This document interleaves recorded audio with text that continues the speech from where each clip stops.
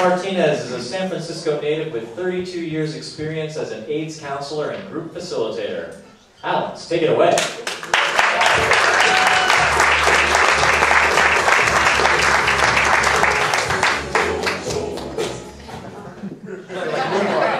um, okay, I'm gonna. Uh, uh, I've done performances before, but I have to say that this one I really pulled out of way in here. So I'm gonna ask that we hold each other through this. Okay. Right. Okay, so hit it. Socrates said, "To fear death is to think yourself wise when you're not. To fear something you think you know but you don't. Nobody knows if death." may not be the greatest of blessings, yet humans fear it like it's the worst of all evils. In my early 20s, I had a dream about Robbie. He had been my best friend when we were in grammar school and we had stayed in touch past high school, but I hadn't heard from him. So I called his mother and she told me that he had died. And at that moment, I thought to myself, well, that kind of makes sense. I already knew way too much about AIDS. By 1987, AIDS was a plague in my community. My coworkers, my doctor, my therapist, my friends, my boyfriends, and my partners would be taken. I didn't know what to do, so I took all my fears and I went to the Shanti Project to become an emotional support counselor for people with AIDS. Um, this is me at the time. Next time I'm doing fear of hair loss. there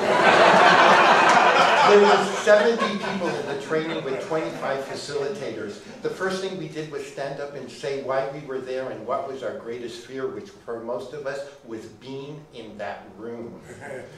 Um, uh, uh, uh, the first thing we did was an eye exercise where we looked directly into the eyes of another student and we were directed to see the child in that person. We moved to the next person and saw the warrior in them, moved to the next and saw the gentle heart.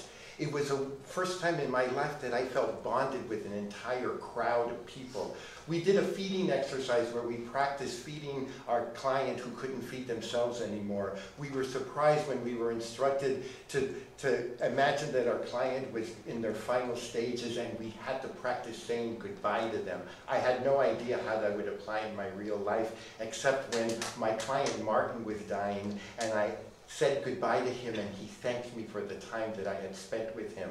When I said goodbye to my boyfriend Greg, he said that I gave him peace. And when my husband of 25 years was right before he, the last time he had consciousness, he blew me a kiss. How lucky am I? The group, that we had to have a support group every day to get through the training. It was led by two facilitators and it was a place where we could cry and we could laugh. And we learned what it was to get support and to give support. One of the facilitators of the support group, his name was Jim, and he had to wear loose clothing because his entire body, face and down to his feet were covered in Kaposi sarcoma cancer lesions. They hadn't spread to his internal organs yet. In six months, he'd be on the memorial table, and he was there to support us. In one of the support groups, uh, uh, uh, one of his lesions on his legs burst and blood splattered. This was at a time when AIDS blood was considered the most fearful contagion, something to be reviled, but when that happened, I felt that I wanted to embrace him and comfort him and everything that he symbolized. Um, the, the, ironically, and this might be bananas, but in that environment, sex was so acute and it was something that was celebrated and embraced because in the face of mortality, sex was the fire of life that we could cling on to. There's more.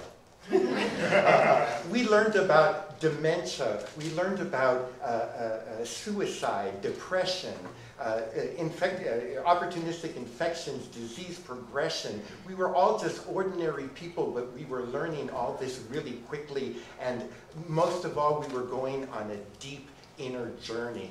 A guy goes to his doctor and the doctor says, I have, I'm sorry to tell you, but you have a fatal incurable disease. And the guy says, oh my God, how much time do I have? And the doctor says 10. And the guy says, oh my God, 10 years. And the doctor says 10. And he says 10 months, 10 weeks. And the doctor says 10 nine, eight, seven. Ah. Now it was time for Grief Circle. The Grief Circle was the only place in the the- only part of the training that was open to the community, uh, because it was the only place where people could come and express their grief about their AIDS losses.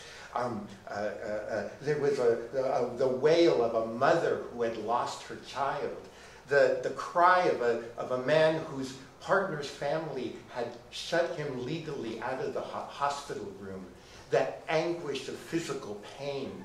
It was one thing after another, and the air was filled with grief. We laughed through our tears when a man talked about the dementia that his, uh, that his partner had been diagnosed with. One morning, the partner woke up and said, Oh, thanks for putting a nightlight in the bathroom last night. And the partner said, I didn't put a light in the bathroom. Turns out that he had peed in the refrigerator. the, the, the, the, the clinical psychologist on staff, her name was Gail Winston.